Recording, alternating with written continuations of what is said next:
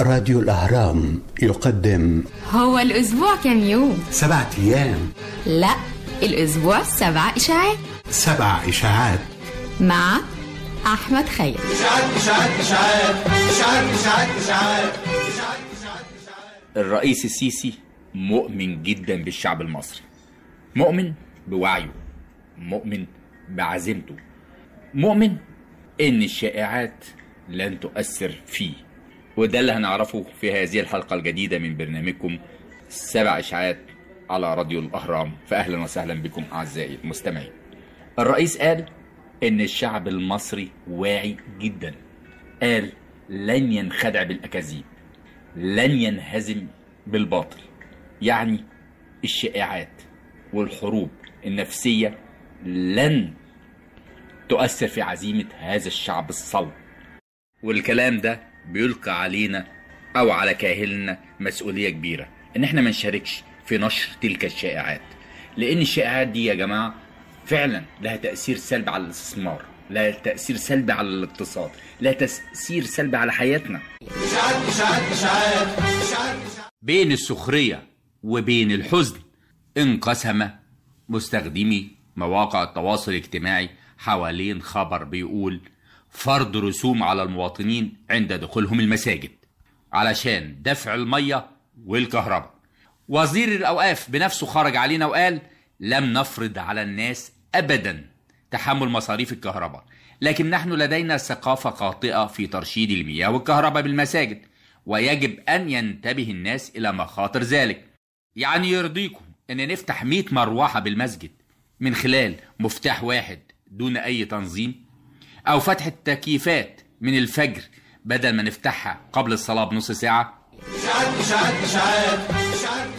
إنه بيمر بأزمة مالية كبيرة وكمان عنده أزمة عدم التحاق ابنته بإحدى المدارس.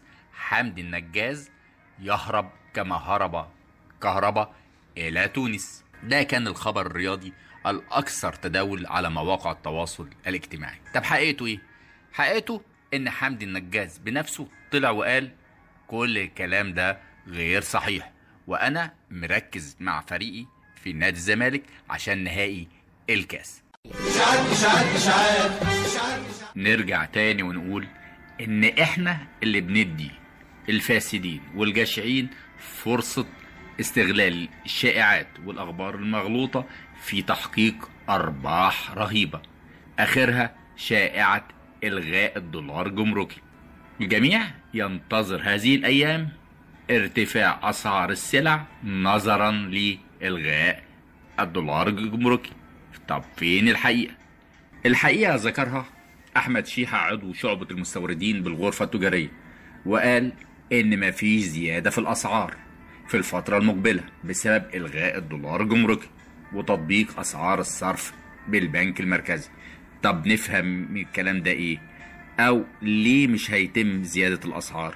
قال يا جماعة إن الدولار الجمركي أصلا ده لا يطبق على السلع مستوردة ده بيطبق فقط لا غير على المواد الخام اللي داخلة في عملية الإنتاجية. وأغلبية تلك المواد أصلا لا تخضع للجمارك. صورة للفنان العالمي فان ديزل في أحد حواري مصر. قلبت الدنيا خلت كل المصريين يتكلموا وينقلوها على إنها فعلا حقيقة.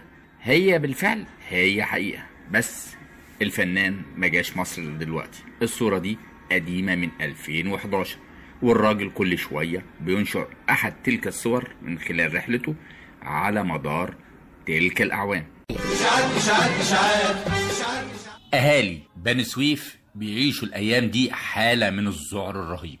السبب شائعة بتقول مقتل ست طالبات داخل إحدى دور الرعاية. وإحنا هنا في البرنامج بنقول لأهالينا هناك ما تخافوش الكلام ده كله شائعات. الغرض منها تشويه وزارة الداخلية. والأجهزة الأمنية بالمحافظة قالت إن مفيش قتلى ولا يحزنون. إشاعات إشاعات إشاعات. أصابع الاتهام ما زالت تشير إلى شركة روتانا. منذ أن خرجت علينا الفنانة اللبنانية إليسا بتغريدة كتبت فيها أنا أستعد لهذا الألبوم الجديد مع الكثير من الحب والعاطفة له ولكنه سوف يكون الأخير في مسيرتي الفنية. أعلن ذلك بقلب حزين ولكن مع قناعة كبيرة بذلك فأنا لا أستطيع العمل في حقل مشابه للمافيا. من يومها والأصابع الاتهام تشير إلى شركة روتانا. اليوم خرج علينا رجل الأعمال الكويتي سالم الهندي رئيس التنفيذي لشركة روتانا وقال إن الشركة ليست طرفا في أزمة اعتزال الفنانة لسه كما يروج البعض وإن الشركة لم تكن أبدا سببا في إحباط أي فنان. وفي النهاية أشكركم أعزائي المستمعين وإلى أن يتجدد لقاءنا الأسبوع المقبل أتمنى لكم أسبوعا خاليا من الشائعات.